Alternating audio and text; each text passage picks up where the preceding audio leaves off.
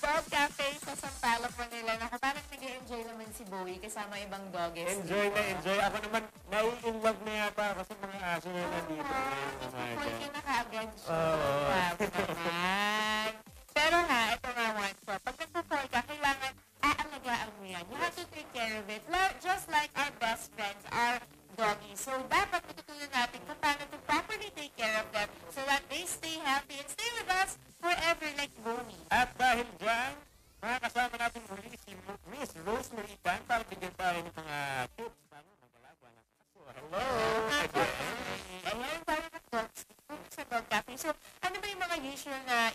ina-advise mo for dog lovers? Ayan, dapat ang mga pets natin, lagi natin sinusuklayan para iwas buhol ng hair, iwas galis.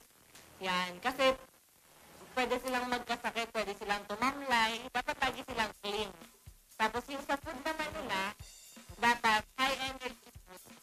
Yan. Yes. Ayan, oh. high energy Ah, high in protein also, di ba? Yes, that's right. Tsaka iba't ibang klase ng uh, height na kailangan na depende big dogs, normally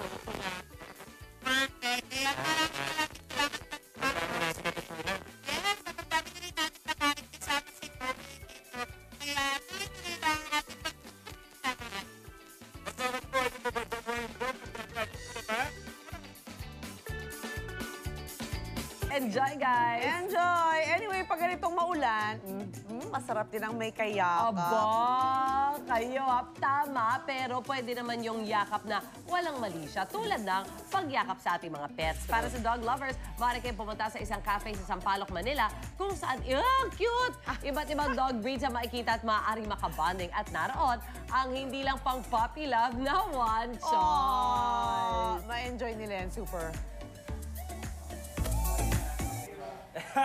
Hindi talaga pang puppy love, guys. Ayan, good morning po sa inyo lahat. Good morning! Isang ba? Wow na wow! Morning ang hatid namin ni Wancho dito mula sa isang dog cafe sa Sampaloc, Manila. Good morning, Wancho. Good morning, Joyce.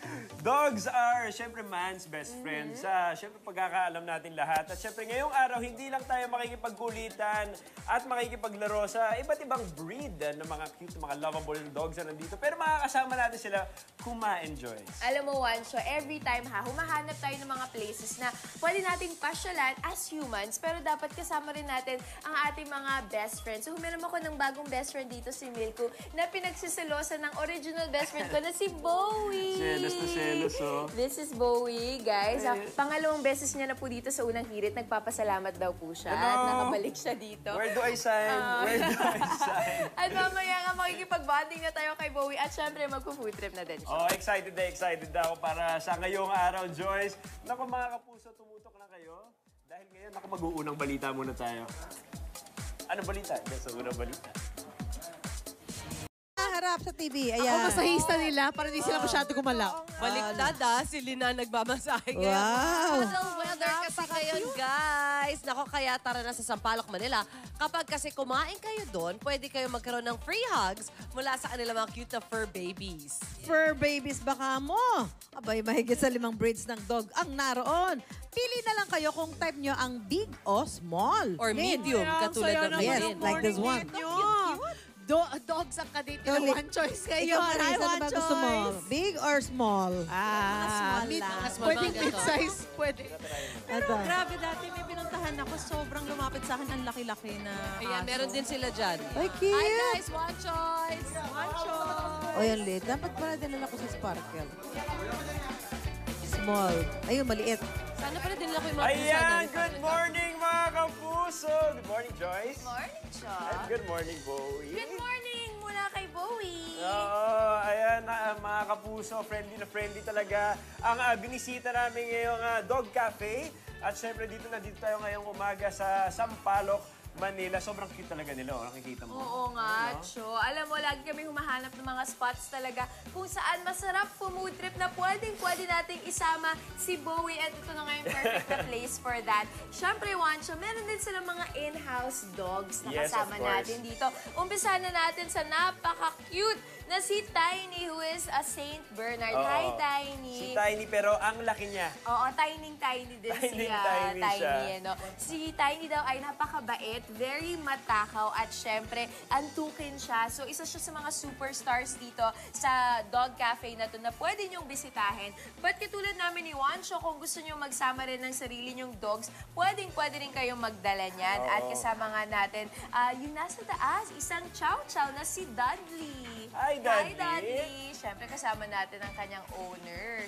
Ito Hello. naman, okay, nandito naman sa left side natin ang ah, hug. Yes. Hello!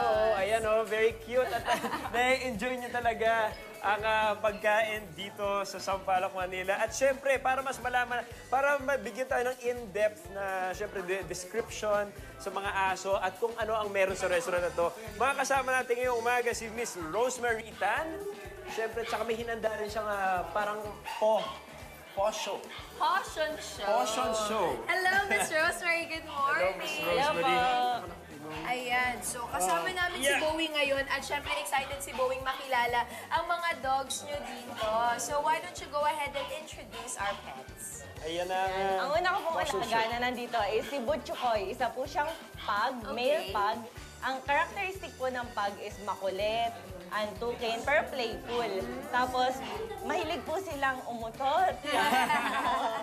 Yan. Tapos, humihilik din po sila. Cute naman ang Yan po si pug. Butchukoy. Ay, hi, Butchokoy! Hello, Butchukoy. Next. Oh, talaga nag-ano siya, oh, nagpo-project siya. Oo nga, nakapos. Nilalasap niya yung airtime niya, oh. Yes. Next At up. ang next naman po Oh, ay si. Keira. Si Keira po ay female black shih tzu. Yan, wow. isa po Hi, siya, Kira. isa po siya sa favorite dog ko. Pag Shih Tzu, malalambing Yan. talaga, no? Ang first dog ko ah, na may breed ay Shih Tzu. Oo. Ako may shih tzu rin ako, si Bruce. Makatulog pa ngayon. Eto, next dog. Ang next see. dog naman po natin ay si Milku. Yan. Hello, Milku. Isa po siyang male pom a female Pomeranian. Aha. Color white or cream. Tapos imported line po siya. Playful din po siya, malambing at mahilig siyang umikot-ikot pag naglalakad. Si Milko nga yung kasama ko kanina, di ba? Grabe, Ayan. ah, pwede, pwede mo talaga puntahan yung ah, restaurant na to. Siyempre, kung uh, stressed ka, from work, from everything else. Yes, and lastly, kasama natin, Si Damulag. si Damula. Isa po siyang exotic bully. Male po siya. Then medyo malaki po talaga siya. Compact yung size. Ang Ano siya, no? cute. Macho siya tingnan. Shall we try kung kaya ni Bowie mag-fashion show, mag-portion show? Halika. Feeling ko hindi niya kaya. Ito na nga po. At syempre, dahil bukod sa mga cute na dogs na makikita niyo dito sa uh, dog cafe na to, pwedeng pwede niyo rin isama ang inyong best friend. Si Bowie po, hindi siya masyadong ah, social. Ayan, ilakad na natin siya. Ayan, pero gusto niyo rin po mag-food trip kasama ang inyong mga best friends na pet dogs, pwedeng pwede po yan dahil available ang Boodle Fight for everyone to enjoy. Yes, at bukas siyempre itong ah, restaurant at pet cafe nito from 10 a.m. to 10 p.m. Kaya sa mga gusto pumunta dito, siyempre to bond with your pets, you can obviously and you can do that here in Sampaloc, Manila. Ayan. Pwede pa silang mag-share ng food. Food trip with the pets and of course with your Oh, wow. dogs. Ayan mga kapuso, back to studio muna tayo. Sorry, baby.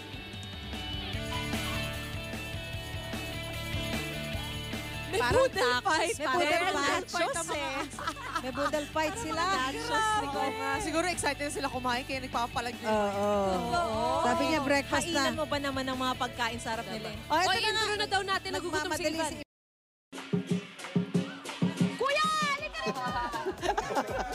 Mga puso, thank you sa pagtambay. Magkita-kita muli tayo bukas. Medyo okay na panahon, no, Tani, no? Yes. Kung saan lagi una ka sa Unang Hirit!